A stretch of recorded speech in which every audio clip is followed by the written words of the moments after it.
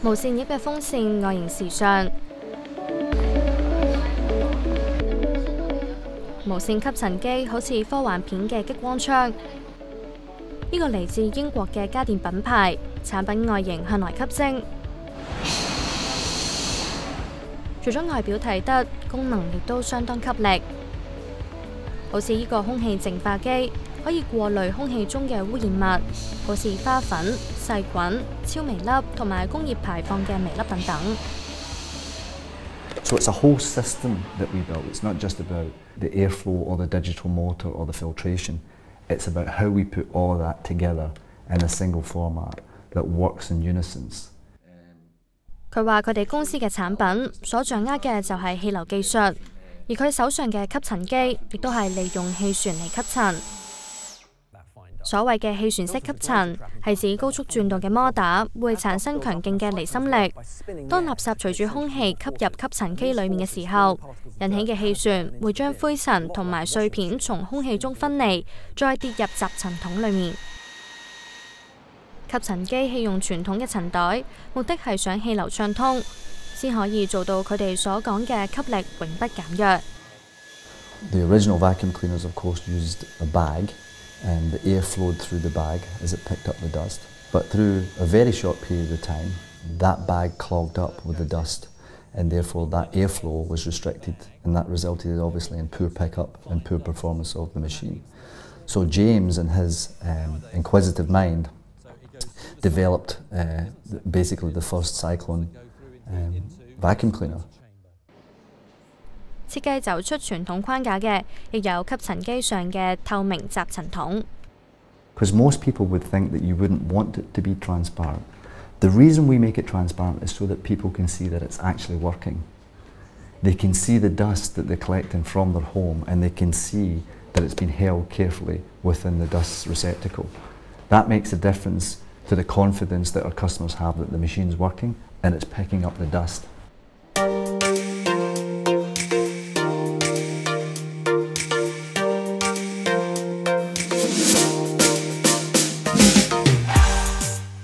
日都會用到嘅風筒或者造型器，原來都有一定嘅科技含金量。The technology within this is called the Coanda effect. It's best described here, where you have a high pressure jet of air that comes up and causes the air to circulate.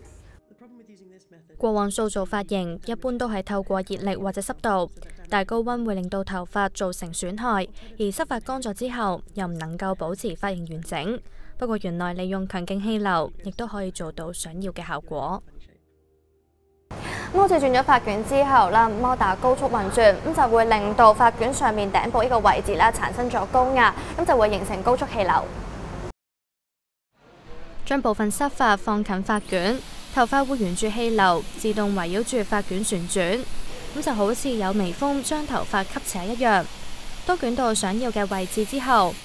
再撳掣將頭髮吹乾冷卻，咁就可以做到捲曲嘅效果啦。The Coanda effect that allows the hair to wrap around. And then, of course, the electronics and the heating element that we've designed to make sure that the hair is never damaged through heat. 無論係造型器抑或吸塵機，喺輕巧嘅機身製造出強大嘅氣流，關鍵都係入面嘅數碼摩打。This digital motor allows us to take um, lots of power from a very small form factor. In some cases, that form factor is 5 to 1 power to weight ratio. And of course, that then allows us to use cycling technology in a very easy format in terms of the handheld. 喺家电范畴之中，摩打同电池技术嘅配合已经相当成熟。公司亦都开始转战新业务，计划喺二零二零年推出首部自家研发嘅电动车。 唔少人都相信，被譽為家電界喬布斯嘅創辦人 James Dyson 將會為現有市場帶嚟新衝擊。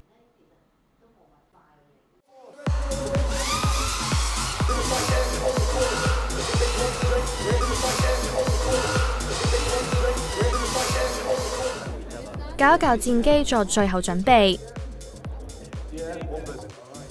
戴上 VR 眼鏡，比賽即將開始。喺阿姆斯特丹一個無人機主題周入面舉行咗世界錦標賽，吸引世界各地嘅無人機發燒友用速度同埋技術一較高下。左穿右插，有參賽者投入到企埋起身。每場比賽都有四名參加者，佢哋都要配備一部細架得嚟又可以飛到時速超過一百公里嘅無人機，喺竞技场内斗足四圈，仲要克服一个又一个嘅障碍。绿色灯呢一架就唔多小心啦。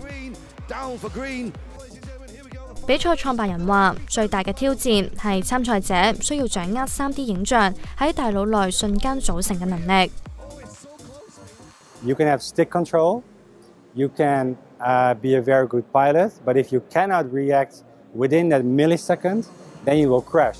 So it's all all of those skills that you will need to have, together with knowing how to build your drone, how to make it better, and how to stay ahead of your competition.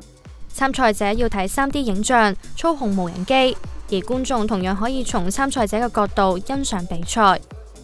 It was very fast, so so it was. Uh, uh, I, I don't know if I can do that. very fast. 比赛最终由呢一位嚟自南韩嘅十六岁新星夺得。 When I put the goggles on it, and it feels like I'm flying like a plane or the helicopters in first person view. And it's like fast enough 115 kilometers is go. And it feels so excited when I fly in the course or everywhere.